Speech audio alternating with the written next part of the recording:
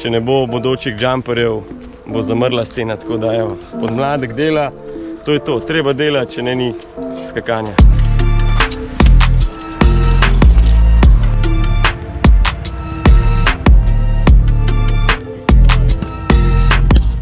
Danes je nov dan in tukaj so že nove ukrepitve.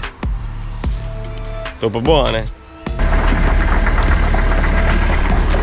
Kaj da bi izračunala, ne? Koliko mora biti višina za bager. Top.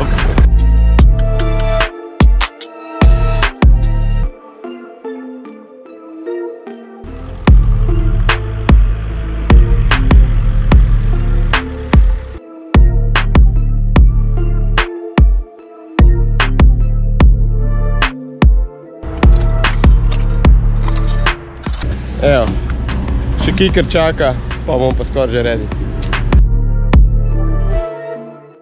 Kikeri so ta glavni in to je to. Kiker mora biti, vse ostalo že gre. To pa Ljubljančani, ki prijejo delat, sladoled in to je to, a veš. Pa boš?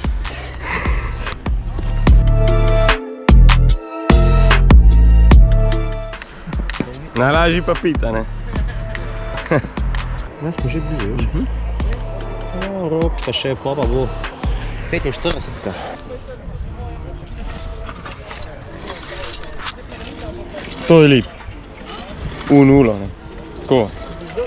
Top. Vsaka čast, res. Tako da še enkrat hvala vsem, ki ste prišli pomagati, brez vas tega ne bi bilo.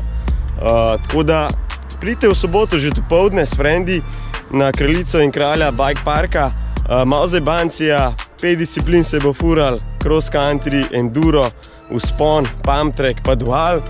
Uh, pejte malo, da vidite, kdo je hitrejši in potem pa sledi session na tej veliki liniji. Uh, te zanima kdo v furu, invite only je, tako da Primož Tanko, Žiga Pandur, zmagovalec 2019, uh, Jaka Hartmann je še v Sloveniji uh, in pa glaven šejper, Kikerja, Matic Kokl plus ostali. Tako da ne mi nositi biciklov, ker je sam za povabljene. Se vidimo v soboto. Woo!